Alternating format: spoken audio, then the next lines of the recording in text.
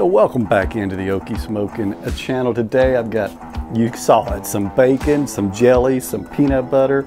Uh, it's called a peanut butter and jelly BLT or a BLT with peanut butter or uh, peanut butter and jelly or PBJ BLT. You, uh, you know, name it how you want.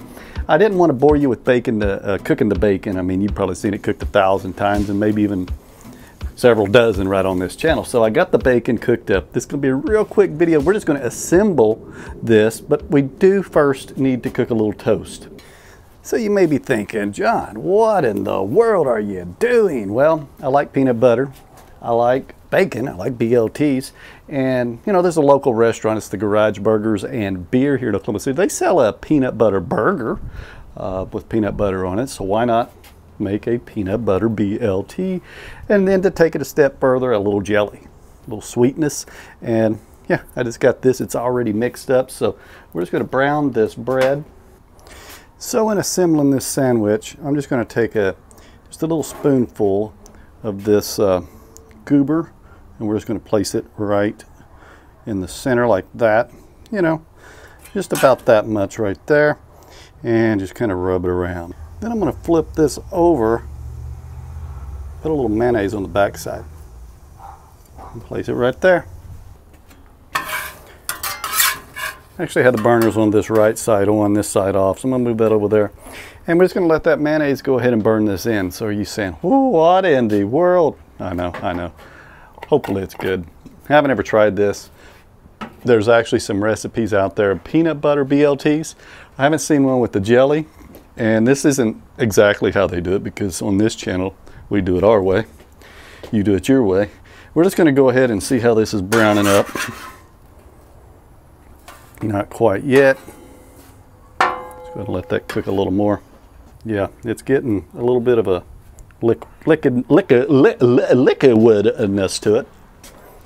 So I think I'm gonna go ahead and start assembling this. So what we're gonna do is first off, is we're just gonna take this bacon, which I've already cooked, and I'm just going to put it all on here.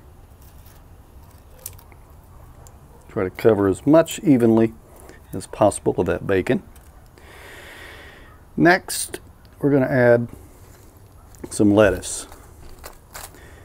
Just some good old iceberg lettuce, not nothing fancy. Just a head of lettuce. Then we're going to add our tomatoes.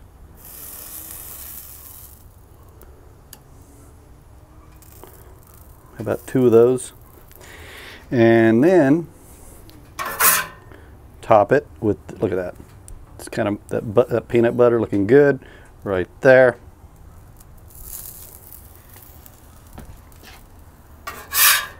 And that, my friends, is a BLT peanut butter sandwich.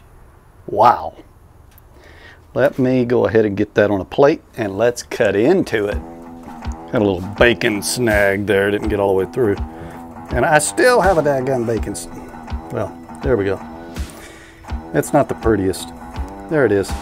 Let's go ahead and see how it tastes though.